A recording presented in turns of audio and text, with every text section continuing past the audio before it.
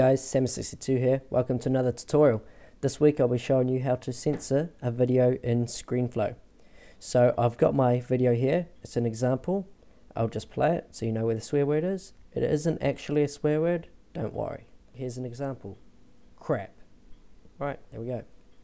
Okay, so obviously we're going to censor the crap bit.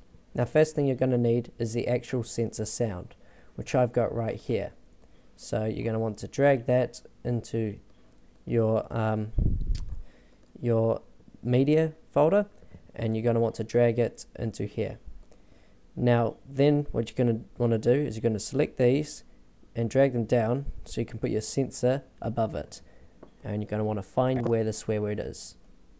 So I'm going to play it and stop it when I hear the swear word. Crap.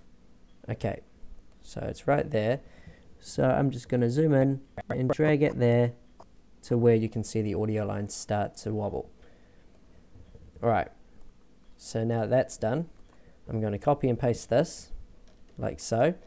And what I'm going to do is I'm going to shorten this to the length of the word, shorten this to the start of it, bring this up here, and then shorten that to the end of it. So what I've done is this is the same length as the original audio file, but I've just deleted the center of it to put the swear word censor in it. So if I play that, here's an example. Right, there we go. Much better. So, pretty simple. And yeah, that's about it. Hope this helped. Samin62 out. Game on.